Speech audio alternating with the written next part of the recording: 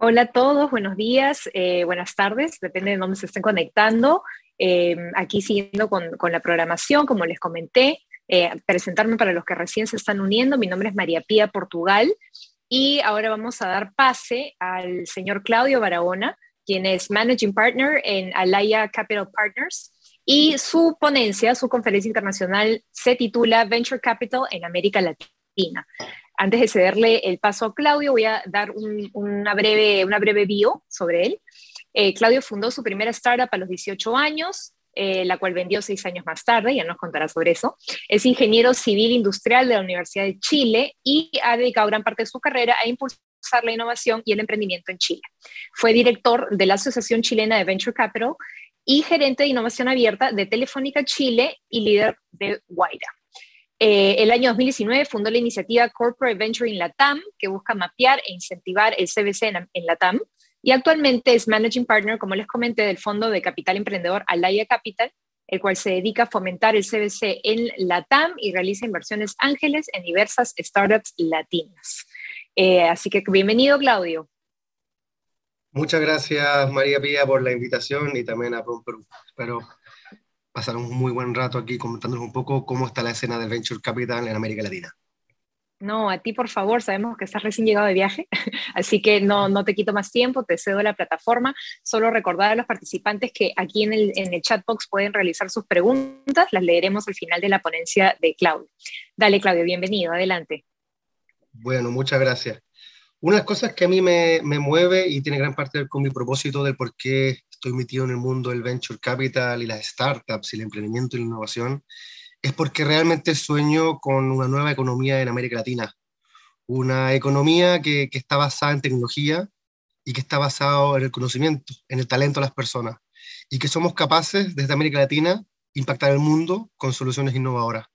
Y, eso es lo que, lo que a mí gran parte me mueve y también a nuestro fondo, Laia Capital, y, justamente esta, esta ponencia quiere mostrarles un poco de lo que está pasando en América Latina y por qué este sueño eh, está cada vez más cerca de ser, realidad.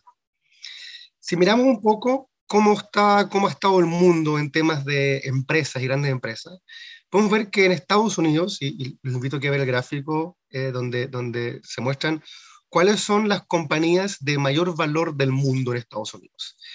Y el 2021 son prácticamente todas compañías tecnológicas, ¿no? Está Apple, Microsoft, Amazon, Google, Facebook, Tesla, todas compañías las que escuchamos mucho y también somos muchas veces usuarios, ¿no? Esas son todas compañías basadas en tecnología y son todas compañías relativamente nuevas, relativamente jóvenes. De hecho, si ustedes miran cómo era este ranking 11 años antes, en el 2020, recién había un par, ¿no? Estaba Apple, Microsoft, pero todavía estaban las compañías más tradicionales, más antiguas. O sea, ocurrió un cambio muy importante en Estados Unidos y en el mundo con respecto a cuáles son las compañías que son los futuros líderes empresariales. Si miramos ahora esto mismo en América Latina, nos damos cuenta que hoy día, en 2021, ya tenemos dos o tres compañías tech en ese ranking del, top 10, digamos, ¿no? de las de mayor valor en, en América Latina. Mercado Libre hoy día es de hecho la segunda compañía de mayor valor eh, en, América Latina. Y por atrás después viene Nubank y, y. Y, si yo ampliara este ranking, probablemente podríamos ver, encontrar cada vez, cada vez más.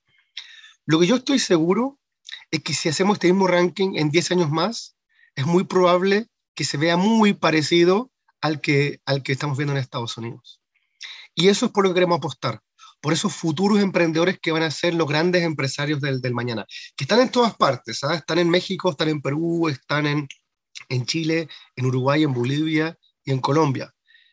Las, las compañías del futuro son todas compañías tecnológicas y eso no me cabe ninguna duda.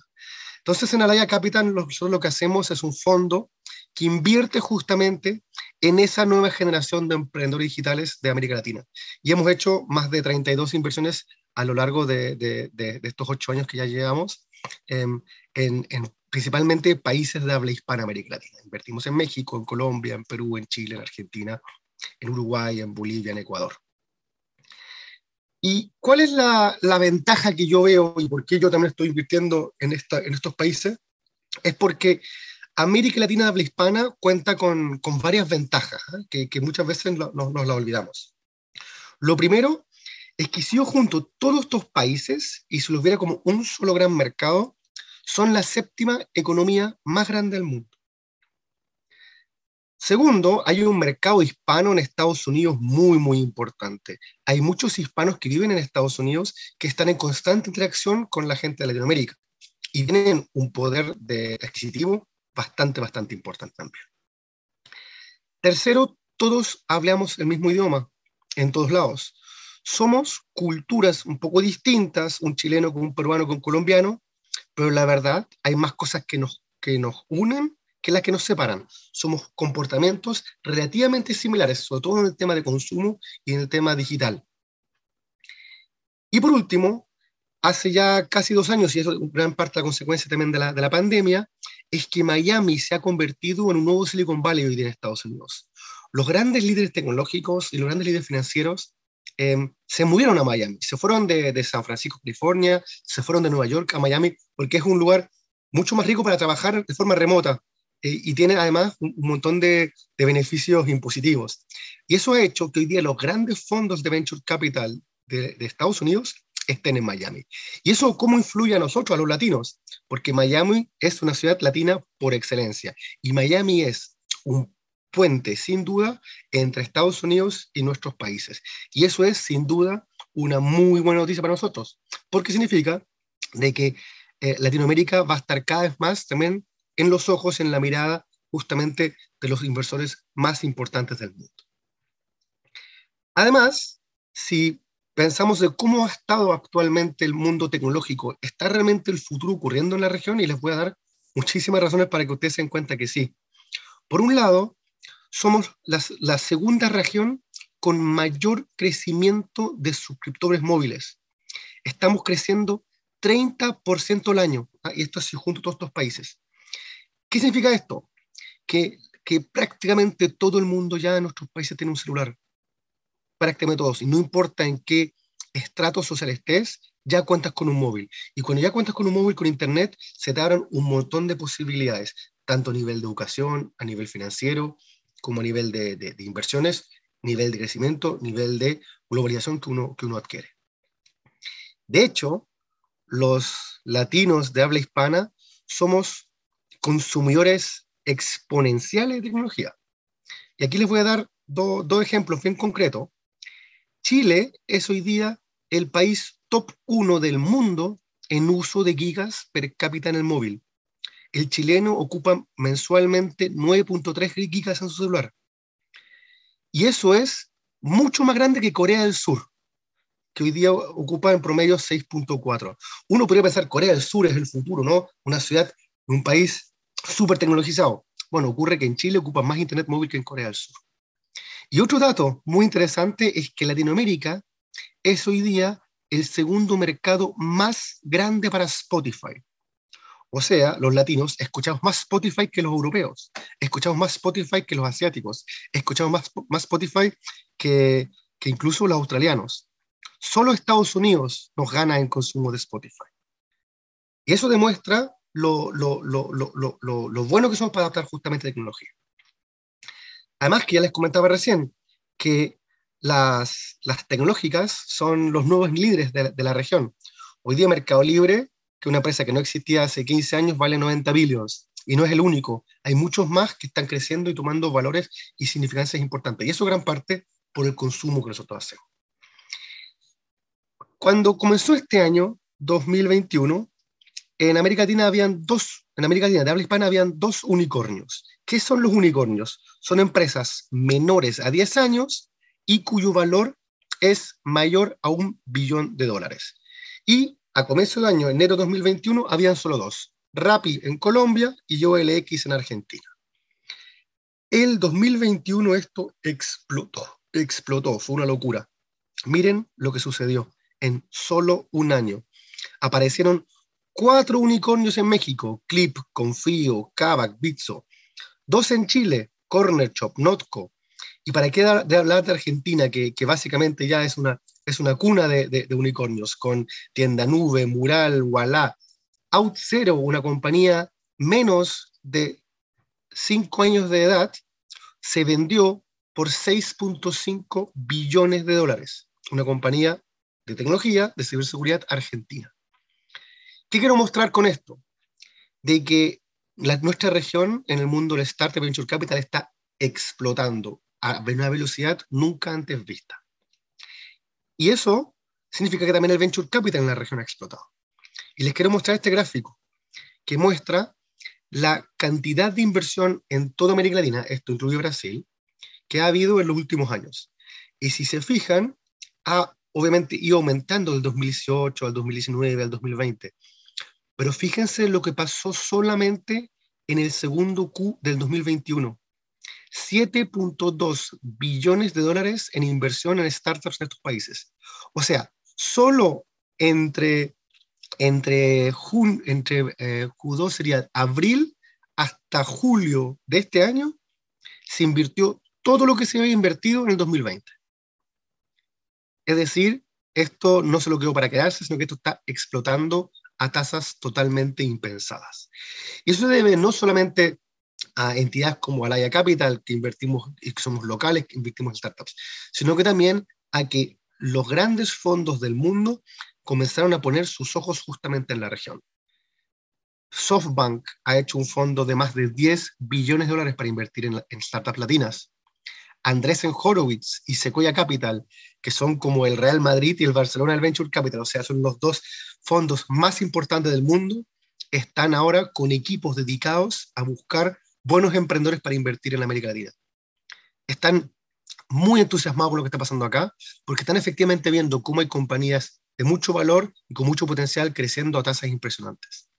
De hecho, la aceleradora más importante del mundo, que se llama Y Combinator, ha tenido en el último año más de 100 startups de América Latina. Yo fui a, Y Combinator hace cinco años y nunca habían tenido ni una sola startup latina. Ahora tienen más de 100. Lo que yo les quiero mostrar y contar acá es que esto está explotando y que es, sin lugar a dudas, el mejor momento para emprender en la región. Por lo mismo, y aquí muy rápidamente nomás mi propio aviso publicitario, digamos, pero nosotros estamos invirtiendo en todos estos países, somos un fondo Venture Capital basado en Estados Unidos em, de 100 millones de dólares, del cual el 20% lo vamos a invertir en el Perú, derechamente. Es decir, un 20% de 100 millones va directamente a startups peruanas. Estamos invirtiendo en fase semilla y series A. El ticket de inversión es máximo 5 millones de dólares. Buscamos unicornios, pero sobre todo lo que buscamos es escalar regionalmente las compañías en las que invertimos. Entonces, cuando encontramos una buena startup peruana, invertimos en ella para llevarla justamente a los otros mercados de la, de la región. ¿Cómo está el Perú? ¿Cómo está el Perú en este, en este escenario que yo les vengo contando? La verdad es que crece también, probablemente no con las cifras tan significativas como los otros, pero de acuerdo a su tamaño de mercado y a su nivel de madurez, la verdad es que el caso de Perú es muy, muy destacable. Primero es que solo el 2021 creció un 80% más que el, año anterior, la cantidad de inversión en, Venture Capital en Perú. Luego hay casos de éxito, que eso es muy importante porque sí puedes demostrar que efectivamente em, hay buenos emprendedores y hay buenas startups y que desde el Perú se pueden hacer grandes cosas, ¿no? Cine Papaya fue adquirido por Fandango en 2016, A Dónde Vivir por Navent, Kulki por Credit Corp, Creana, que para mí es sin duda el caso de éxito más importante del Perú hoy día, acaba de levantar 70 millones de dólares con fondos globales de Estados Unidos. Justo estos fondos que yo les venía contando en la slide anterior. Además, igual que en toda la región, está creciendo el consumidor digital a una velocidad impresionante. Y el Perú tiene sectores que presentan grandes ventajas competitivas y donde los peruanos son muy buenos, como es food tech, todo lo que tiene que ver con alimentos, fintech, todo lo que tiene que ver con la bancarización, por ejemplo, de los peruanos, la agricultura, toda la tecnología que uno puede ocupar en la agricultura y la educación, sin duda. Nosotros en, el Aya Capital, de hecho, estamos apostando fuerte por el Perú y encontramos que es un mercado muy interesante. Hemos invertido ya en Talently, fundado por Doménica Obando y Roxana y Cristian, que es una, una empresa de, educación digital y, y, y, que está haciendo cosas a nivel global de manera muy interesante. Y de hecho, hace muy poco hemos firmado nuestra siguiente inversión en, en, una startup peruana que no puedo contarles todavía porque aún, aún no es pública, pero ya los próximos días vamos a ir anunciando. Además, tenemos compañías que las que hemos invertido que son de otros países, pero que ven a un Perú como un, mercado muy interesante, justamente por lo que yo les venía comentando. Es así como compañías como Quilimo, Muva, Pau 46, Chatigo, están hoy día abriendo Perú y atendiendo clientes peruanos y llegando para, para acá. ¿Por qué? Porque efectivamente el consumidor peruano es un consumidor muy interesante justamente para startups que tienen una visión, visión global. Además, somos un, un, miembro activo en el ecosistema, formamos parte de la PECAP y hace un par de meses hemos sumado a nuestro equipo a, a Luis Narro, ex director ejecutivo de PECAP, que hoy día es nuestro venture partner justamente para, para seguir potenciando lo que estamos haciendo ya en estas latitudes. ¿Y qué viene después? ¿Qué viene en el futuro? Este, este estudio me gusta mucho, lo hicieron nuestros amigos de, de AllVP, un fondo de Venture Capital mexicano, que hablan de los unicorns, es decir, eh, empresas que todavía no son unicornios, pero que van arriba de, los 100 millones de dólares. Y miren, por favor, la cantidad de logos que hay por aquí. Es decir, hoy día hay cientos de empresas que están creciendo a velocidades impresionantes, también en el Perú, y que el día de mañana van a ser las grandes empresas líderes de, de la región van a ser esas grandes empresas líderes las que van eh, justamente lograr, mediante talento y tecnología, impactar al mundo. Así que la verdad es que yo estoy muy optimista con todo lo que esto está pasando, no solamente a nivel latinoamericano, sino que también a nivel local, tanto en Chile, en Argentina, en México, en Colombia y, en el Perú, que sin duda es un mercado que tiene mucho potencial por crecer. Muchas gracias por la, por la invitación eh, quería hacer esta presentación muy cortita porque la verdad es que prefiero ir contando preguntas y conversando con ustedes, así que espero que les haya gustado.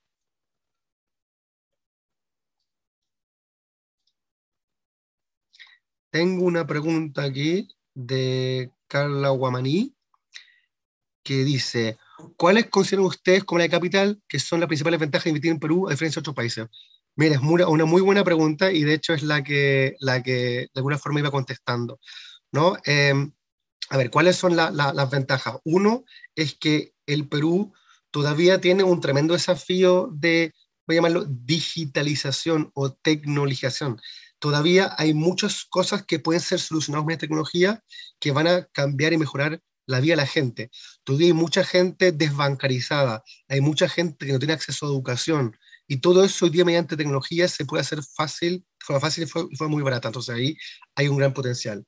Lo otro, Perú es conocido mundialmente por su gastronomía, Perú es, es, es, mundialmente conocido por sus buenos alimentos. Todo lo que tiene que ver con food tech y con cómo yo incorporo tecnología para el agro y para los alimentos y para la alta gastronomía, también es sin duda un altísimo potencial del, Perú. Y, por último, agregar todo lo que tiene que ver con, con educación. Hemos, hemos, visto y visto muy buenos ojos cómo startups peruanas se han metido en el desafío de la educación justamente para mejorar eh, la, el acceso a la educación, para mejorar la calidad de la educación, y eso sin duda mediante tecnología se puede hacer, que hoy día cualquier persona con un celular o con una, con, un, con una tablet o un computador puede acceder al mejor contenido del mundo y no requiere eh, hacer grandes viajes o, o, tener que ir necesariamente físicamente a una universidad para adquirir este conocimiento. Hoy día eso está disponible y con la digitalización justamente se va, se va a poder hacer. Voy. voy Muchísimas gracias, Claudio. sí, tengo una segunda preguntita para que no, te, no, no las leas y no te respondas solo. Dale, eh, una segunda preguntita. ¿La madurez del ecosistema nacional influye en el nacimiento de un unicornio en el país? Sí, claramente. Yo creo que eh, no hay que desesperarse con buscar un unicornio. Esto es como que salir a desesperadamente buscar un unicornio. El, unicornio va a aparecer solo, ¿no? Va a aparecer uh -huh. mágicamente solo por ahí. No, no hay que ir a cazarlo. Pero yo creo que ese unicornio ya nació. Eh, ya está ahí, ya existe. Es una de las empresas que ustedes probablemente ya conocen. Puede ser un Creana, puede ser un V89, puede ser un RICRA, puede ser muchas otras, Ojalá que sean todas, pero no hay que esperarse con decir, uy, necesitamos un unicornio ya. En Chile, que es un ecosistema que yo conozco muy bien, eh, venimos buscando ese unicornio hace más de 15 años y aparecieron dos en el mismo mes. En junio del 2021 apareció Corner Shop y a dos semanas apareció Notco como unicornio, que claro, es la confirmación de un ecosistema que madura, pero Notco y Corner Shop ya existían hace 5 o 6 años antes, ¿no? Entonces, eh, no me cabe duda que va a aparecer el primer unicornio peruano muy pronto, pero por favor no se obsesionen con eso. Lo importante es que tengamos cada vez más startups, cada vez más emprendedores y los resultados se van a ir dando solo. Gracias, Claudio. Eh, Jaime nos escribe y te pregunta, Claudio, ¿qué características buscan en los startups que invierten? ¿Mínimo de ventas o qué tipo de tracción? En el caso de Laia Capital, lo que buscamos son compañías que ya tienen un product market fit, es decir, su producto ya es comercializable, ya hay alguien que lo, que lo quiere comprar. No hay un número exacto de, ah, necesitas vender tantos dólares, etcétera, no, pero que ya el product market fit existe y que estén listos para escalarlo a un siguiente país.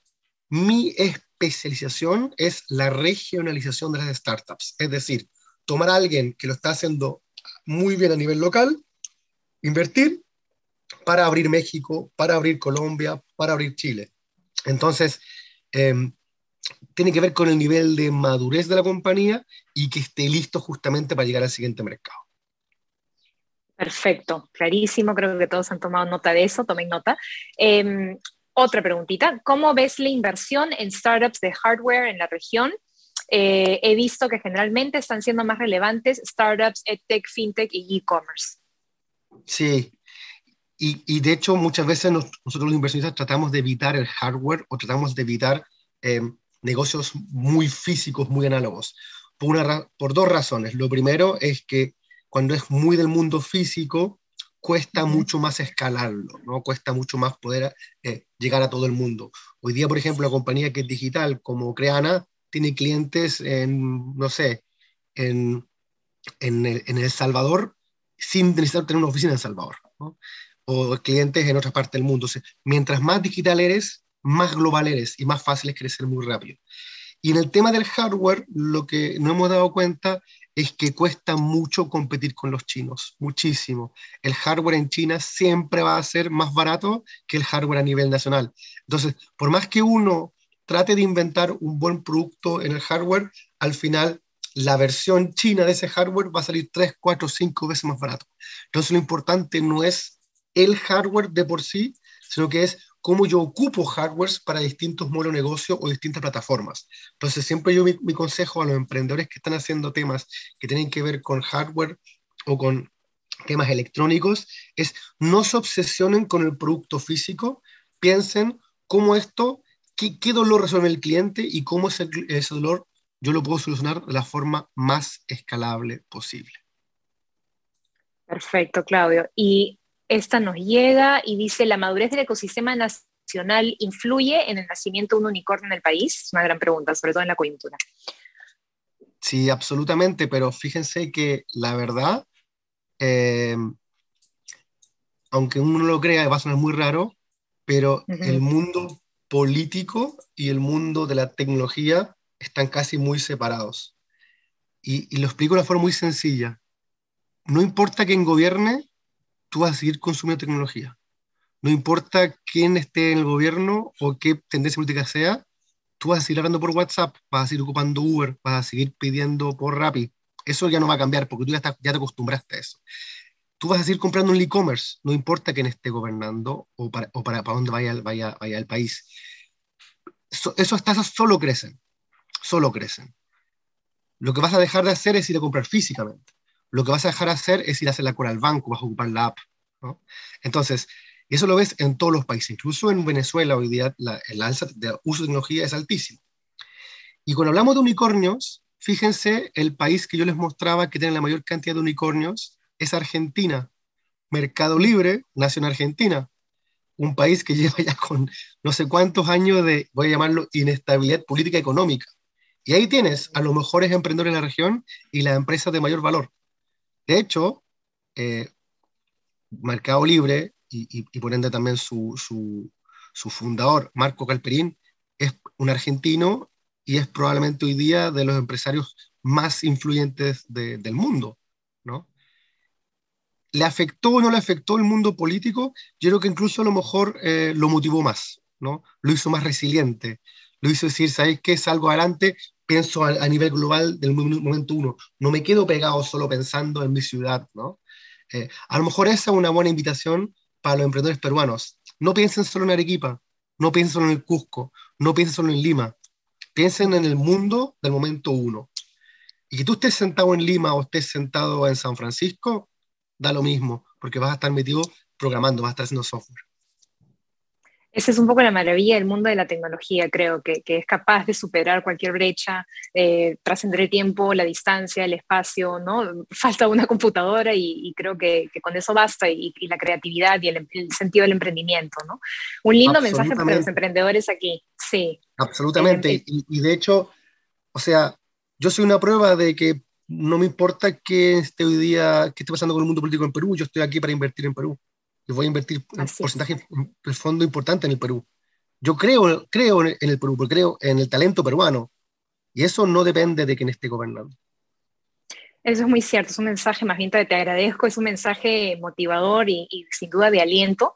Eh, el peruano es emprendedor por naturaleza y muy creativo por naturaleza, así que es algo definitivamente a explotar. Y en la adversidad muchas veces surgen las mejores eh, oportunidades y las mejores ideas. Y un poco empalmando, y, para cerrar, la verdad, y no quitarte más tiempo, Claudio, que sabemos que, que, estás recién llegado, ¿qué país de la TAM eh, tiene el ecosistema emprendedor innovador más maduro? ¿Y por qué? En Brasil, sin lugar a duda. Brasil hoy día está en varios escalones más arriba de lo que, de lo que estamos el resto. Yo creo que principalmente porque Brasil eh, es muy grande, es casi que un continente aparte. Yo siempre digo que Brasil no es la TAM, es Brasil, y la TAM somos todo el resto. Eh, tiene, tiene, lógicamente, em, lo bueno es que tú haces una startup en Brasil y no tienes que pensar en ser global del primer momento, porque tú solo con Brasil ya tienes una, puedes hacer una super compañía, como fue el caso con Nubank, que ahora recién está empezando a abrir México y otros países. Así que Brasil está top 1. Ahora, entre los otros países, la verdad es que estamos todos más o menos parecidos. A lo mejor uno está medio escalón más arriba que otro, pero la diferencia entre un Chile, Argentina, Colombia, Perú no es tanto. A lo mejor un México está un poquito más arriba, pero tampoco mucho. ¿vale? Entonces creo que estamos todos más o menos parecidos. Y lo bueno, y yo lo he visto porque tengo emprendedores que lo hacen, es que lo que tú haces hoy día en Lima funciona en Barranquillas, Colombia, funciona en, Monterrey, México, funciona en Valparaíso, Chile. Somos muy parecidos, funcionan, es, son leves ajustes lo que hay que hacer el modelo de negocio. Entonces, eso es muy bueno porque puedes abrir los ojos y decir, ¿sabes qué? Voy a construir una compañía para América Latina del momento uno, no importa el lugar en que yo esté sentado. Eso es magnífico, ¿no? Voy a construir esto y lo voy a replicar en otros países. Esa es la, la maravilla. A veces nos sentimos en verdad otros países nos ven siempre como, como la TAM, pero cuando estamos cada uno en nuestro país, cada uno se siente o se ve como Chile, Perú, como si fuésemos una isla. Y la verdad somos países bastante parecidos y con muchas cosas a replicar también. Totalmente, totalmente. Listo, Claudio, nada, te agradecemos por favor de parte de todo el equipo de Promperú y todos nuestros aliados eh, tu tiempo, una ponencia excelente, este espacio que nos has dado para el, el QA y esperamos contar contigo en, una próxima, en un próximo evento. Feliz, ojalá que el próximo sea presencial, así puedo estar con ustedes físicamente. Muchas gracias por la invitación. De todas maneras. A ti, Claudio, un abrazo, cuídate. Cuídense, chao, chao. Chao. Eh, estimados, eh, nosotros eh, regresamos a las, al mediodía, a las 12 horas Perú, con la ponencia de Daniel Córdoba, director de promoción de inversiones empresariales en PROM Perú. Los esperamos.